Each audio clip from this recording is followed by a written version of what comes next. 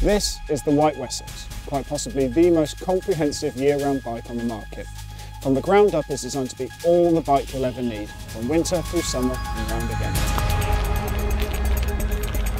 Designed in Britain, the Wessex is built to deal with all weathers and all terrains without skipping a beat.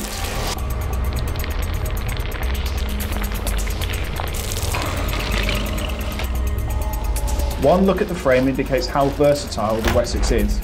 You'll find aero-profile tubes and a beefy bottom bracket area, yet there are still dedicated eyelets for mudguards, clearance for 30C tyres and disc brakes. The balanced geometry certainly gives the Whyte Wessex a strong endurance-based heart, but the carbon frame is informative, responsive and confidence-inspiring, ensuring a rewarding ride whether heading up or downhill.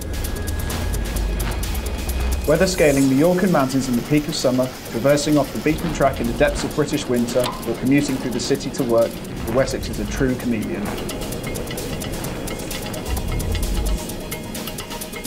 For a bike that can turn its hand competently to such a wide variety of riding, its value is also impressive.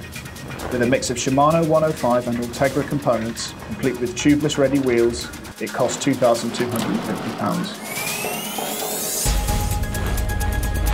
If there's a bike we could pigeonhole as the ultimate all-in-one road bike, the Whyte Wessex could well be the current market leader.